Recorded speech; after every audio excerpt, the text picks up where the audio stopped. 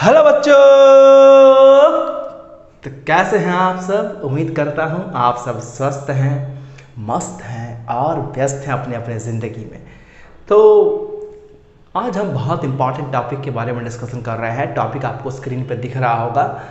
और ये टॉपिक हम बेसिकली कल ही स्टार्ट कर दिए थे। इसके एक टाइप को हमने कल डिस्कस भी कर लिया है और उस टाइप का नाम था कॉल बाय वैल्यू मेथड यानी कि किसी फ़ंक्शन में, किसी यूज़र डिफाइंड फ़ंक्शन में कॉलर फ़ंक्शन से वैल्यूज़ को कैसे भेजते हैं, इसके बारे में हमने कल डिस्कशन किया था। और आज हम उसी का दूसरा पार्ट यानी कि पास बाय रेफरेंस या कॉल बाय रेफरेंस के बारे में डिस्कस करेंगे डिटेल्स में। So without wasting our time let start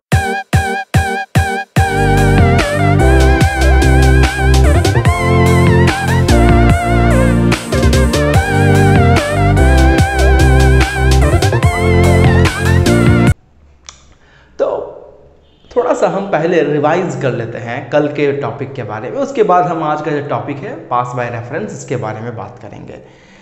So basically call by value या फिर पास बाय वैल्यू ऐसा टाइप है, एक ऐसा प्रोसेस है जिसमें हम अपने कॉलर फ़ंक्शन से वैल्यूज़ को अपने यूज़र डिफाइंड फ़ंक्शन पर कॉपी करते हैं। यानी कि एक्चुअल पैरामीटर से डेटा को हम अपने फॉर्मल पैरामीटर में कॉपी करते हैं।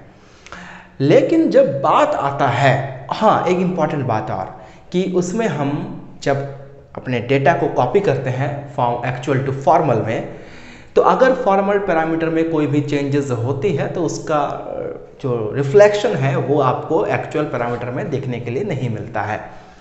लेकिन जब बात करते हैं पास बाय रेफरेंस मेथड का तो इसमें क्या करते हैं ना, कि हम अपने एक्चुअल पैरामीटर के डेटा को कॉपी नहीं करते हैं। अपने फॉर्मल पैरामीटर में, बल्कि हम अपने एक्चुअल पैरामीटर के रेफरेंस को, यानी कि एड्रेस को कॉपी करते हैं अपने फॉर्मल पैरामीटर के वेरिएबल्स के पास। तो यहाँ पर एक इंपॉर्टेंट बात आता है कि आप चाहे उसका डेटा सेंड करो या फिर उसका एड्रेस क्या फ़र्क है? मेरे दोस्त, बहुत फ़र्क है। पहला फ़र्क तो भाई सबसे इंपॉर्टेंट ये कि हम डेटा को नहीं, उसके एड्रेस को पास कर रहे हैं। दूसरी बहुत इंपॉर्टेंट बात ये कि हम अगर मान लें कि फॉर्मल पैरामीटर में कुछ भी चेंजेस करते हैं तो उसका रिफ्लेक्शन हमें उसके एक्चुअल पैरामीटर में देखने के लिए मिलेगा। बिल्कुल, यही इसका सबसे इंपॉर्टेंट और फंडामेंटल डिफरेंस है पास बाय वैल्यू और पास बाय रेफरेंस के बीच में। पास बाय रेफरेंस में क्या होता है कि हम एक एड्रेस को सेंड करते हैं एक्चुअल पैरामीटर से फॉर्मल पैरामीटर के पास, या यूँ कहे कि हम एक ही मेमोरी को शेयर करते हैं एक्चुअल पैरामीटर से भी और उसी मेमोरी को शेयर करते हैं फॉर्मल पैरामीटर से भी। तो अगर मान लीजिए उसी एड्रेस में फॉर्मल पैरामीटर भी स्टोर है और एक्चुअल पैरामीटर भी स्टोर है तो हम अगर कुछ भी चेंजेस करते हैं अपने फॉर्मल पैरामीटर में तो ऑब्वियस सी बात है, वही मेमोरी को एड्रेस कर रहा है, जिस मेमोरी में एक्चुअल पैरामीटर स्टोर है तो उसका reflection definitely definitely actual parameter में भी देखने के लिए मिलेगा। तो यही कुछ कॉन्सेप्ट है पास बाय रेफरेंस का। तो अगर इसका हम डेफिनेशन के बारे में बात करें तो डेफिनेशन इसका कुछ ऐसा होता है कि pass by reference is the process of passing the reference और address of actual parameter to the formal parameters in such a way that change made in the formal parameter will be reflected on the actual parameters तो ये कुछ definition है और इसका basic concept तो आपको मैंने बता ही दिया। चलिए इसे एक छोटा सा एग्ज़ाम्पल प्रोग्राम के साथ समझते हैं, फिर दोबारा हम उसी एग्ज़ाम्पल प्रोग्राम को अपने ब्लूजे में रन भी करेंगे और देखेंगे कि किस तरह का चेंजेस हमें देखने के लिए मिल रहा है। लेटस एग्ज़ाम्पल हम ले लेते हैं। फॉर एग्ज़ाम्पल हमारे पास एक क्लास क्रिएट हमने किया है और उस क्लास का नाम दे देते हैं रेफरेंस सो बेसिकली रेफरेंस जो है वो हमारा यहाँ पर क्लास है। और इसके अंदर में हम एक छोटा सा मेथड क्रिएट करेंगे। मेथड हमारा है वाइड चेंज वाइड का मतलब रिटर्न हम नहीं करेंगे यहाँ पर। जो भी हमारा रिज़ल्ट आने वाला है, वो आपको उसी फ़ंक्शन के अंदर, यानी कि यहाँ पर जो हमारा फ़ंक्शन है चेंज उस चेंज नाम के फ़ंक्शन के अंदर में ही हम अपने रिज़ल्ट को प्रिंट कर देंगे। और इसके अंदर में हम जो पैरामीटर लिए हैं, वो लिए हैं एक इंटीजर टाइप का एरे वेरिएबल बी राइट इसके बाद क्या कर रहे हैं कि यहाँ हम उस एरे वेरिएबल का लेंथ फाइंड कर रहे हैं कि उस वेरिएबल में कितने वैल्यूज़ स्टोर होंगे, कितने एलिमेंट्स स्टोर होंगे।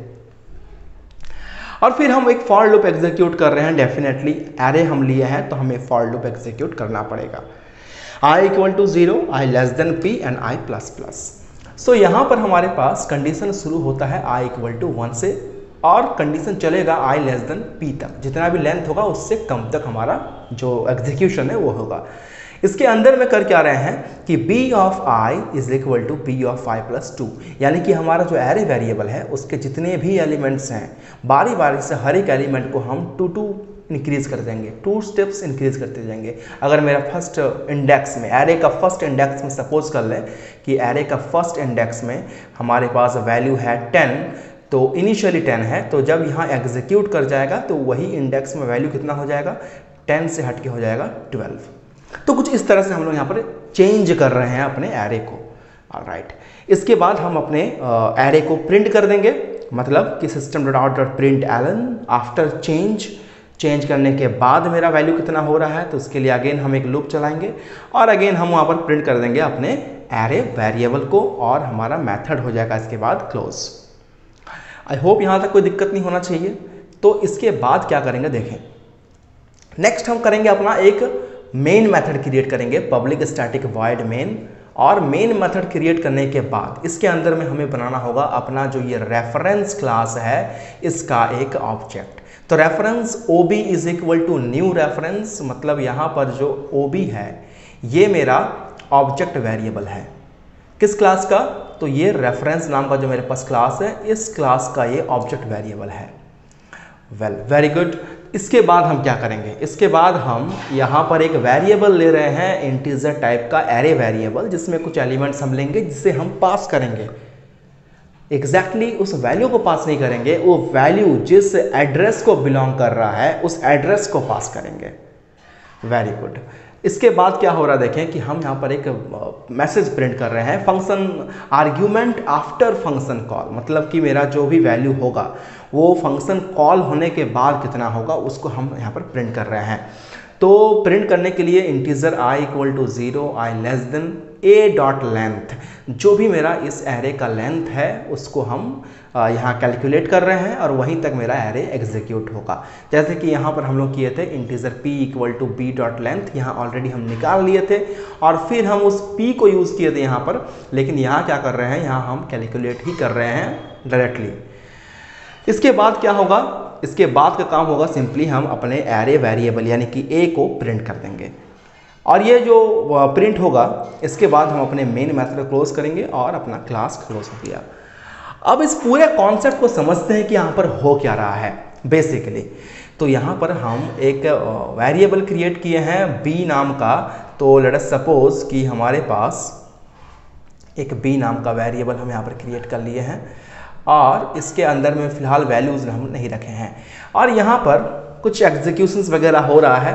क्या एग्जीक्यूशन हो रहा है उसके बारे में हम बात करेंगे, लेकिन उसके पहले एक बात देख लें कि यहाँ पर जो हम ए नाम का वेरिएबल लिए हैं, ये ए नाम का जो वेरिएबल लिए हैं, इसके अंदर में कुछ वैल्यूज़ को स्टोर किया गया है। Two, four, eight, six and fifteen right बिल्कुल सही बात है। Okay okay. अब अब क्या करेंगे कि हम ये ए को सेंड कर रहे हैं इस ए को हम लोग सेंड करेंगे। यहाँ पर एक चीज़ छूट गया है हम लोगों से, और वो चीज़ क्या है मैं आपको दिखाता हूँ। यहाँ पर आपको एक डेटा एक स्टेटमेंट लिखना होगा, और वो स्टेटमेंट कुछ ऐसा है कि ओ बी डॉट हमारा जो फ़ंक्शन है चेंज हम फ़ंक्शन कॉल ही नहीं किए हैं। और इसके अंदर में हम अपने जो डेटा है, अपना वेरिएबल उसे हम भेज रहे हैं। बेसिकली हम वेरिएबल नहीं भेज रहे हैं, उसका एड्रेस भेज रहे हैं। क्योंकि यहाँ पर हम लिखे हैं ए और ए क्या है? एक एरे है। और एक एरे में एक एलिमेंट तो होता नहीं है। बहुत सारा एलिमेंट होता है। तो बेसिकली हम यहाँ पर लिखे हैं ए को सेंड कर रहे हैं। देखिए यहाँ पर हम लोग ए को सेंड कर रहे हैं। A is what a is the address a is the address of the array elements two four eight six fifteen तो एड्रेस को हम पास कर रहे हैं। किसके पास?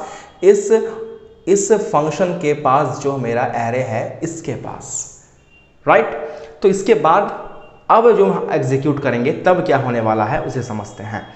तो यहाँ पर हमारे पास, जब ये हम वैल्यू को भेज देंगे बी के पास तो इनिशियली तो ए के पास क्या क्या है? ए के पास तो हमारे पास हैं two four eight six and fifteen लेकिन जब इस एक एड्रेस को हम सेंड कर दे रहे हैं अपने इस वेरिएबल के पास तो यहाँ पर हो जा रहा है b equal to b equal to यह सेम आ जाएगा four two four eight six and fifteen बहुत आसान है, कोई दिक्कत नहीं है। हमने ए को सेंड किया, यानी कि ए के मेमोरी को सेंड किया। और ए के मेमोरी में जो भी स्टोर था, वो चला गया बी के पास।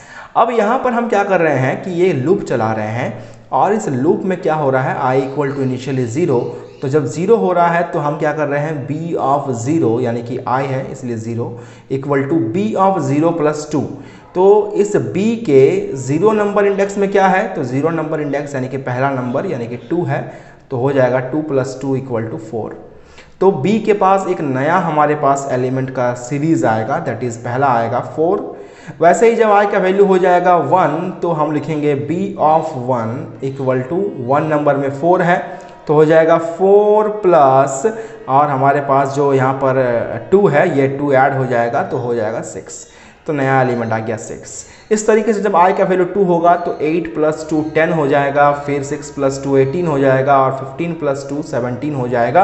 ये कुछ हमारा ए का वैल्यू होने वाला है। इसके बाद क्या करेंगे? जैसे ये चेंजेस आपको दिखेगा ना तो यही सेम चेंज आपका ए में भी देखने के लिए मिलेगा। यानी कि यहाँ पर भी जो आपका two four eight six fifteen है, ये हो जाएगा। Four six eight four six ten four six ten and यहाँ हो जाएगा आपका एट और यहाँ हो जाएगा सेवनटीन ये सेम चीज़ आपको दिखेगा ए में भी. क्यों? क्योंकि हमने ए का एड्रेस भेजा था इसको और ए का जो मेरा एड्रेस है, इस एड्रेस को कौन यूज़ कर रहा है? ये पहले एड्रेस था ए का. लेकिन अब इसको हम किसको शेयर कर दिए हैं? अब हम इसको बी को शेयर कर दिए हैं। यानी कि इस एड्रेस को अब ए भी यूज़ कर रहा है, इसी एड्रेस को अब बी भी यूज़ कर रहा है। यानी कि आपका जो भी चेंजेस होगा इसके बी होगा इसके बी में four six ten eight and seventeen यही सेम चेंज ऑब्वियस बात है आपको, पहला वाला में देखने के लिए मिलेगा। Four six ten eight and seventeen क्योंकि एक ही मेमोरी में दोनों वेरिएबल्स को यूज़ हो रहा है तो एक वेरिएबल्स में वैल्यू चेंज होंगे तो ऑब्वियस बात है सेम चेंजेस आपको जो है पहले वाला वेरिएबल में भी देखने के लिए मिलेगा। Because here we share the address of the the address of the variable so ये उसका बेसिक और फंडामेंटल कॉन्सेप्ट है किसी भी पास बाय रेफरेंस के प्रोसेस का, जहाँ हम किसी भी, जहाँ पर हम किसी भी एक्चुअल पैरामीटर के एड्रेस को सेंड करते हैं अपने फॉर्मल पैरामीटर के पास। फॉर्मल पैरामीटर में जो भी चेंजेस होता है, उसका सीधा रिफ्लेक्शन हमें उसके एक्चुअल पैरामीटर में भी देखने के लिए मिलता है। आप देख ही पा रहे हो, यहाँ पर हमने बी में चेंजेस किया, लेकिन उसका रिफ्लेक्शन जो है आपको ए में दिख रहा है। तो अब हम इसी पूरे चीज़ को, हम इसी पूरे कॉन्सेप्ट को हम समझने वाले हैं ब्लू जे के हेल्प से प्रैक्टिकली तो जैसे कि देख रहे हैं, हम लोग आ चुके हैं अपने ब्लू जी के स्क्रीन पर और यहाँ हम सबसे पहले एक क्लास क्रिएट कर लेते हैं। क्लास का नाम दे देते हैं रेफरेंस राइट रेफरेंस नाम का क्लास हम बनाते हैं और इस रेफरेंस नाम के क्लास को हम डबल क्लिक करके ओपन करेंगे। तो जैसे ही ओपन हो गया तो इसमें कुछ अनवांटेड जो वैल्यूज़ हैं, इसे हम कंट्रोल ए और बैक स्पेस के हेल्प से हटा देंगे। इसके बाद हम यहाँ पर क्लास क्रिएट करेंगे। वही जो क्लास हमने अब नाम दिया था रेफरेंस एंड इसके अंदर में हम एक सिंपल मेथड क्रिएट करने वाले हैं। वाइड चेंज नाम का मेथड और इसके अंदर में हम लिख रहे हैं इंटीज़र बी और एक एरे टाइप का वेरिएबल क्रिएट कर रहे हैं। और फिर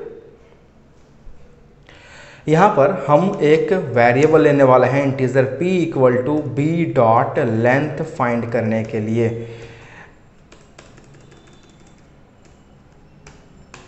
इसके बाद क्या करेंगे कि हम एक लूप एग्जीक्यूट करेंगे for i n t i is equal to zero i less than p and i plus plus और इसके अंदर में क्या करेंगे कि b of i is equal to b of i plus two हम हर बार उसके एलिमेंट्स को टू स्टेप्स इंक्रीज कर रहे हैं और इसके बाहर में हम प्रिंट कर रहे हैं system dot out dot print LN अंदर लिखेंगे हम लोग कि आफ्टर तो आफ्टर चेंज हमारे पास क्या है? तो उसको प्रिंट करने के लिए आफ्टर चेंज यानी कि हमारे पास जो एग्जीक्यूशन हो जाएगा, जो भी चेंजेस होंगे, उसके बाद हमारा वैल्यू कितना होगा, उसको प्रिंट करेंगे। तो उसके लिए हम लोग यहाँ से इसको कॉपी ही कर लेते हैं। और कॉपी करके मैं इसे पेस्ट करता हूँ यहाँ पर और सिंपल यहाँ से मैं इस सिस्टम और डॉट प्रिंट एरन में कॉपी करता हूँ और इसे मैं यहाँ पर प्रिंट कर दूँगा और यहाँ पर लिखने वाले हैं हम a sorry b of i तो ये हमारा हो गया प्रिंट और इसके बाद हमारा हो गया यहाँ पर काम खत्म। इसके बाद क्या करेंगे हम public static void main create करेंगे। और इसके अंदर लिखने वाला है string r g s and इसके बाद क्या होगा? Reference r e f e r e n c e reference r is equal to new new reference and इसके बाद क्या करेंगे? हम यहाँ पर एक एरे टाइप का वेरिएबल लेंगे integer a is equal to two comma four comma eight comma six comma fifteen जो हम ऑलरेडी अपने प्रोग्रामिंग में लिए थे सैंपल एग्ज़ाम्पल में। और इसके बाद क्या करेंगे? इसके बाद हम अपने ऑब्जेक्ट वेरिएबल के हेल्प से अपने फ़ंक्शन को कॉल करेंगे। और फिर यहाँ पर अपने एरे वेरिएबल को, यानी कि एरे वेरिएबल का एड्रेस को पास कर देंगे। अब पास करने के बाद क्या होगा? यहाँ पर हम एक मैसेज प्रिंट करने वाले हैं कि after function execution after function execution function के एग्जीक्यूट करने के बाद हमारा क्या होने वाला है? फ़ंक्शन एग्जीक्यूट करने के बाद क्या होगा, उसे हम देखेंगे। तो उसके लिए हमें एक लुक चलाना होगा। मैं यहाँ से इस लुक को कॉपी कर लेता हूँ। और यहाँ पर मैं प्रिंट करता हूँ। और यहाँ जो P लिखा हुआ है, इसकी जगह पर मैं लिखूँगा ए डॉट लेंथ हम लेंथ फाइंड कर रहे हैं यहीं पर। और यहाँ हम प्रिंट कर रहे हैं ए ऑफ़ आई को। तो ये हमारा ओवरऑल कॉन्सेप्ट हो गया, जहाँ पर हमने अपने एक फ़ंक्शन क्रिएट किया, उसमें हमने एड्रेस पास कर दिया और हमने उसमें एग्जीक्यूशन के बाद जो रिज़ल्ट हो रहा है, उसको हम प्रिंट भी कर दिए कहीं कुछ एरर आ रहा है रिस्ट यहाँ पर हमारे पास कुछ एरर बता रहा है, क्योंकि यहाँ क्योंकि यहाँ पर एक ब्रैकेट मिसिंग है। लेकिन अब नो सिंटैक्स एरर इसे मैं क्लोज करता हूँ और इसे मैं एग्जीक्यूट करता हूँ और यहाँ देखते हैं कि आफ्टर चेंज जो है four six ten eight seventeen यहाँ भी four six eight ten eight seventeen पहला वाला जो है, वो कौन सा है? वो बी का जो है वेरिएबल का वैल्यू है। दूसरा वाला जो है, वो ए का वैल्यू है। तो हमने यहाँ पर बी को चेंज किया, लेकिन उसका रिफ्लेक्शन आपको ए में दिख रहा है। तो पास बाय रेफरेंस जो है, वो कुछ यही बताता है कि हम अगर अपने फॉर्मल पैरामीटर में चेंजेस करते हैं तो उसका रिफ्लेक्शन आपको उसके एक्चुअल पैरामीटर में देखने के लिए मिलता है। तो आई होप आपको आज का ये वीडियो समझ में आया होगा। इसमें बताए गए सारे कॉन्सेप्ट आपको समझ में आए होंगे। और, ये प्रैक्टिकल करके मैंने दिखाया, यहाँ भी आपको कोई प्रॉब्लम नहीं होनी चाहिए। तो अगर वीडियो पसंद आया है तो दिल से लाइक करिएगा, अपने दोस्तों के साथ शेयर करिए। और अगर चैनल पर नए हो तो सब्सक्राइब और बेल आइकन ज़रूर प्रेस करें। और मिलेंगे आपसे अगले वीडियो में कुछ नए कॉन्सेप्ट के साथ। तब तक के लिए टेक केयर खुश रहें। Good bye